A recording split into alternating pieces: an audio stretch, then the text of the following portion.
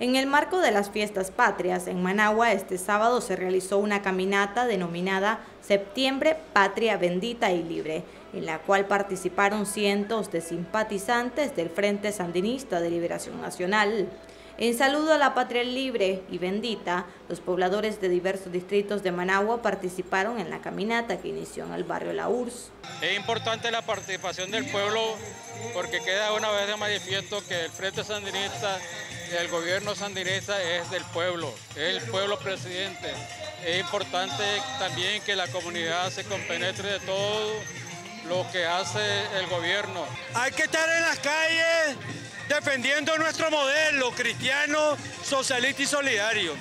Estas calles son del pueblo y estamos aquí realmente asegurando el poder en las calles, que nuestro modelo tiene respaldo y además estamos hoy en las calles conmemorando el 67 aniversario de paso a la inmortalidad de Rigoberto López Pérez. Los estudiantes también se unieron a esta caminata, quienes indicaron que para la juventud es importante sumarse porque son el relevo de las generaciones que lograron la revolución.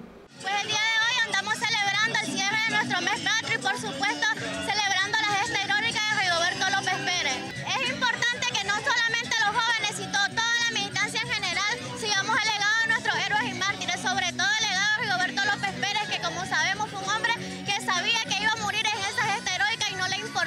Sus últimas palabras a su madre fueron, lo mío no es un sacrificio, sino un deber que espero haber cumplido y creo que es un legado que todos debemos de continuar. Esta caminata contó con el respaldo de las autoridades de la Policía Nacional, quienes se aseguraron que durante la actividad predominara la paz. Para TV Noticias, María René González.